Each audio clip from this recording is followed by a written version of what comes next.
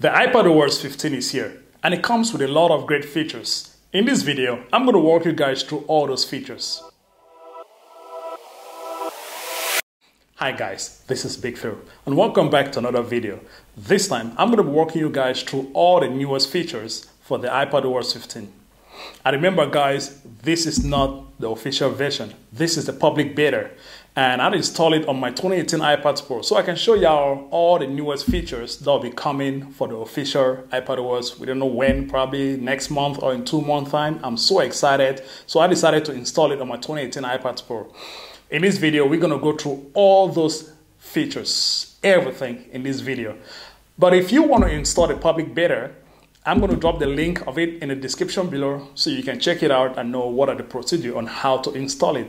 And also remember, if you're installing it, you have to first of all back up all your important files, important information, videos, photos, everything from your iPad Pro because a public beta might have it's not stable. You might there might be a lot of bugs, a lot of hiccups. So if you want to go back to the iOS 14 or the iPadOS 14, it's easy. So when you back up everything, you can get everything back into your iPad Pro. So we don't waste too much time. Let's check out all those features. I'm going to use the Magic Mouse to to navigate through the iPad Pro while I'm showing you guys all the newest features. But unfortunately, there is no new features for the Magic Mouse 2 compatible on the iPad Pro. It's still got the same drawbacks, like whenever you turn it off and you turn it on, you have to manually reconnect it back to your iPad Pro. It's still got the same issue, so there's no new features when it comes to mouse support. Now, let's move on to the most important thing, which is right here, widgets widget has gotten much better with the iPad OS 15. Like right now, you can put it on any part of the screen. Like you can move it anywhere you want to put it on the screen. Unlike before, or unlike on the iPad OS 14, everything was all on the same section right here on the corner. But now you can put it anywhere. I mean, if you can even put a widget on the second page, that's crazy. These were not available with iPad OS 14. But now you can move it anywhere and you can resize it. You can put it on the bottom, in the middle, on the top, wherever you want to put it. But for me, I like to have mine. I like to have all my widgets right on the top, like right like this. Put everything right here. Yeah, just love it to be like this. You tap down. And if you want to access all the other or newest uh, widget, you tap and hold on the screen. Then it will give you this plus button right on the corner here. You tap on it then these are the available widgets that you can choose from. This one right here, these are the samples. Or you can use through the different app. For example, if I click on Spotify, these are the widget for Spotify right here, which I can just choose one, put on the screen. Or I can go, for example, on the weather. It will give you all the different sizes, small, medium, and large. You can choose it, put it on the screen. So there are a lot of widgets and it's much customizable right now. You can put it anywhere on the screen, on the first page, on the second page, even right up to the last page is possible. But unlike on the previous iPadOS 14, it was widgets were only possible on the first page and just on the left corner right here. And also, app library is now available for the iPadOS 15. Before, it was only available for iPhones, but now you can have it on an iPad Pro. Like, for example, scroll right to the last page and that's right there. Or for the iPad Pro, you can have it here on the corner. It's always right here on the uh, bottom right corner right here. So you can tap on it. When you click, it brings you all the different app library where you can choose from. So which is good. I mean, if you don't want to have a lot of pages on your iPad Pro like me, you see what I have here, like one, two, three, four. That's crazy. You can just group all your apps right here. And every time you want to use it, you simply just click on the bottom right corner. It stays there all the time, which is great. Still on the home screen, there are two new applications. Let's start with the first one, Translate. Translate has been on iPhone since the iOS 14, but for the iPad OS 15, it is now available for the iPad Pro, which is great. I love it. And it translates languages really good. There are some few languages available right now. We got things like Japanese, Italian, Korean, Russian, Spanish. Yeah, this uh, Chinese. They're all here and it works really good. You can use your voice. Good morning. Buenos días. It translates really fast. It has a dictionary on the bottom where you can search the word, the meaning of the word. It's right all available right here. You can do conversation where you have a conversation with two people using different languages. It works really good. You can save the conversation in your favorite. So there's a, there are a lot of features when it comes to the translate on the iPadOS. And the second application, which is new, is Magnifier. This is used to control the camera, the camera app. For example, you can capture a photo with it, flashlights, the brightness, you can zoom into the photo, you can change the settings, you can do anything, everything from this app right here, which is nice, and you capture the photo. And now, let's talk about multitasking on an iPad Pro. It has gotten so much better. Like right now, when you tap on any application, for example, let's say Safari, it has this three dot on the top right here. The three, I don't know if you guys can see right on the top corner, top right here, three dots. When you click on it, it gives you these three options. You have a full screen, you have uh, a split screen, and a slide over. So for example, if I tap on the split screen in the middle, now it gives me space, it gives way to all the different apps. I mean, it slide on the corner and allow me to see all the different apps on the main screen. Now, if I want to choose another app to go with the split screen of uh, Safari, I can tap, for example, on YouTube. You see right there, it comes onto a split screen. Right here we have YouTube on one corner and Safari on the other side, which is nice. Then, as you can see, the, uh, the three dots are still available for all the different apps. The two split screen, uh, split applications have the three dots. If I tap right here, it can give me a full screen where the other one is gone. Or we can still do the same thing. Let's say we still got a Safari right here. Now, if I uh, click on the slide over, now one app become full screen and the other slide over. So multitasking has become so much and much easier, especially with this uh, option right here, the three dots when you tap on it, you got things like, and when you're using the Safari browser, on the bottom, you have all the different windows that you have open, different websites. For example, there's YouTube there, there is another YouTube right here, there is a weather app, so whenever you click on it, it gives you everything. As you can see right here, it takes you to the page that you've been working on, just like this. And you can click on more, tap on new windows, and let's say Apple.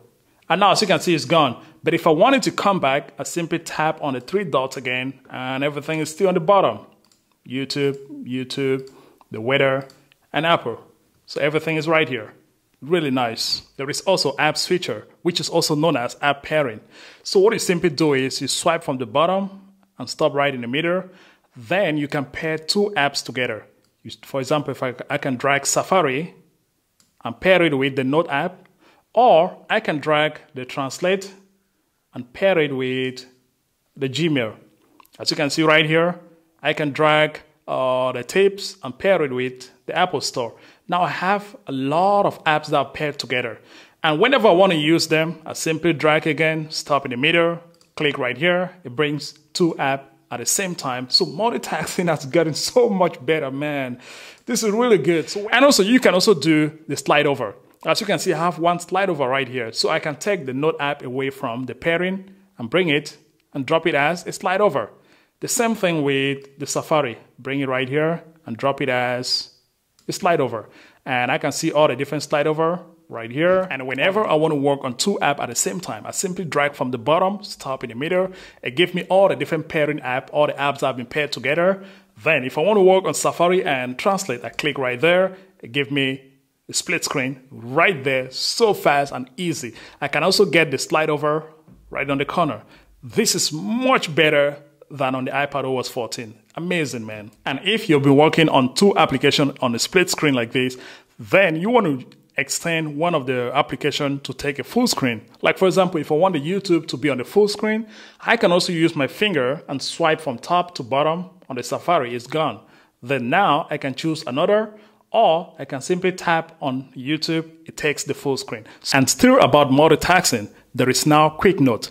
With Quick Note, you can use the Apple Pencil and you drag from the bottom right corner, just like this, it bring up a quick note, a little page where you can jot down important things like numbers, emails, uh, website.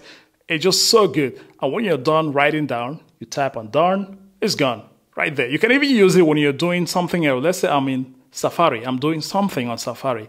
I want to jot down an important email. I just simply drag from bottom right corner and bring up a little page. I can write it down, type on down, and it's gone. But if you drag it from the bottom left, it's instantly going to take a screenshot. So you must do it on the bottom right corner right here. Bring up, and you can move it around. That's a good thing. You can move it around, put it wherever you want to put it. Right here on the bottom, you jot down, tap on done. That's it. And you can have many pages on a quick note. For example, if I'm done writing on this page, it's full. I simply tap on this little icon right here. It bring out another page. I write on it, it's full. I tap on this icon, bring another one. Tap on this icon, more pages. And if you want to swipe through all those pages, use your finger, you swipe to see all the different pages. So these are the different pages that have been used, the first one, the second one, which is really nice. So the quick note comes in a little windows where the space is not much, but you can choose more pages to write on, which is great. The next set of new features are about FaceTime. FaceTime has gained so much improvement on the iPadOS 15, like a lot of new features. The first is the fact that on FaceTime, you can now share a TV show or a movie with friends. Let's say um, I have a bunch of friends who are doing the first time. I can share a movie or I can share a TV show with all those friends. You can also share music or album with your friends. And above all, you can share a screen. Like if, for example, I find something on the website, I can share it with my friends on FaceTime. Another new feature with FaceTime is what Apple calls spatial audio which lets uh, the voice or the sound comes from the direction where the person image is. Let's take, for example, that I'm doing a FaceTime and there are 10 people on the screen. And if I'm talking, the voice or the audio comes from the, the direction where my image is. That is amazing. You can also resize the photo frame of everyone on the screen. So if there are 20 people, I can resize their, their, their frame to make sure everybody can be on the screen so I can see everybody. So you resize their, their photo frames. And there is also portrait mode, which the camera focus on you and blur out everything in the background. Even the noise from the background is blur out. This is really good, especially if you're in an environment where it's so noisy or a place where there are so many people and you want the video call to focus on you. Portrait mode is the best. And above all, there is now FaceTime link, which means you can share FaceTime link to many people, especially people that has Android phones or Windows. The next set of features are about Safari. Safari has gained some improvement with the iPadOS 15. Like when you get in, the streamline tab bar on the top now takes the color of the site or the website that you're browsing on. So for example, right now I'm on uh, apple.com. The color is gray and black.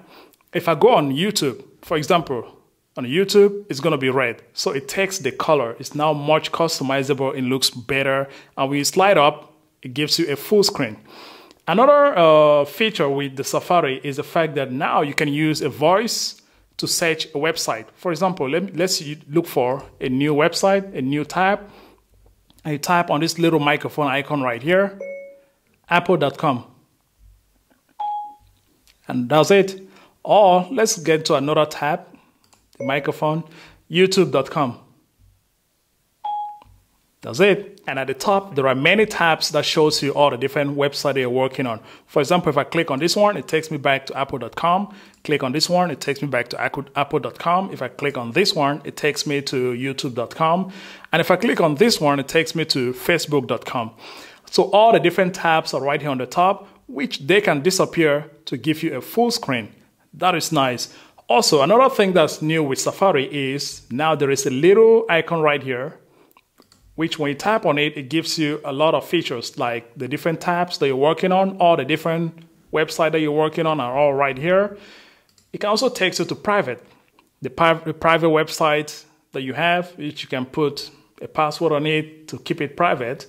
You have the bookmark, it's right here. You have the reading list and history, the things that you've been browsing on. So everything is right here. And if you don't want it anymore, you click again, it's gone. It gives you a full screen. And to customize each type of website, you click on these three dots right here, and it brings you a bunch of options like copy, text size, which you can change the size of the text of the website, privacy report, and we scroll right down, you have my favorite, hide toolbar. You click on it, As you can see, all the different uh, tabs with website all disappeared, gone. And if you want to bring it back, you bring your mouse up, it appears. When you take it out, it's gone. Or if you don't have a mouse, you can use your finger. You tap right there, it comes back. That's right there. And there are also a bunch of other options like uh, request a mobile website, which I don't know if I'm going to use it, uh, website settings to change everything. So there are a bunch of uh, settings or customization on Safari based on the iPadOS 15. And the next set of features is about live text. Live text is a way in which you can unlock useful and rich information from an image. So it deals with images. Now let's get into the photo, the photo app. This is an image of me, and right there, as you can see, there are text on it. So what I can do is I can use my finger, Apple Pencil, or a mouse, and I highlight the text. Then options. You can copy it, select everything, look up, which is going to search, translate, or share. Wow, this is amazing. This is an image which I mean, I've edited this image like two times, but I can still copy text from it. I can search anything from it. This is a game changer when it comes to images. This is very nice. And still in the photo app, under media types, there is now RAW. The RAW format, it gives you all the different photos that are still in the RAW format. Like right here, these are all the photos I took with my Sony a7 Mark III camera.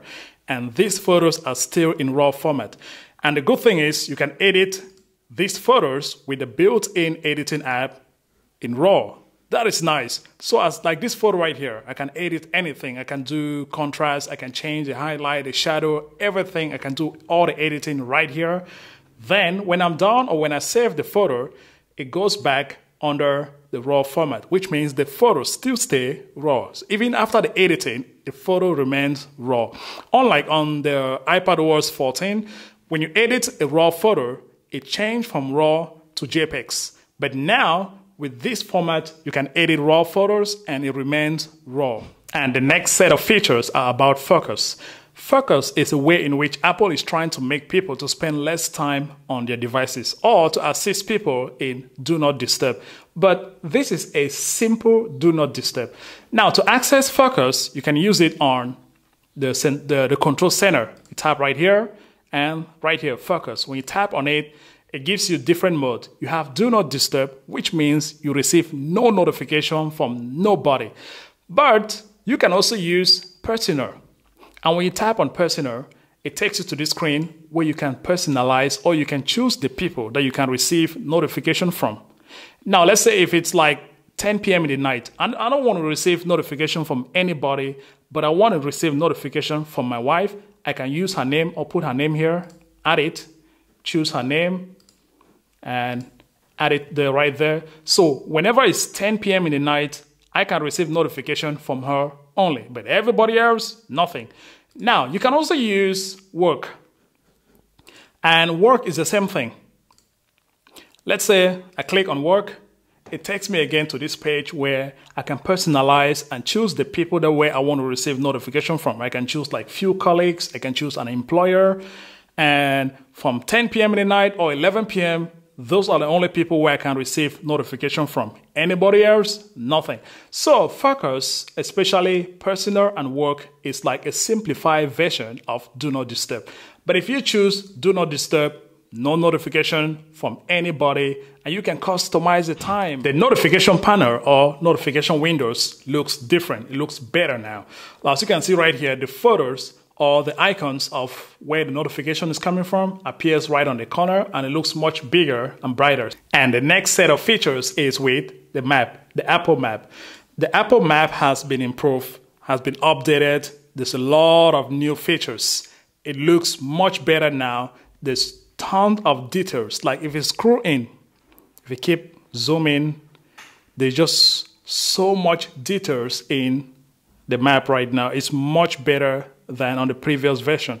So when you keep zooming, especially when you have a good internet connection, there is so much details and you can see things in 3D, which is really nice. You can see the roads, buildings, uh, bridges, rivers, all in 3D, which looks better and the last thing we're going to talk about is Memoji.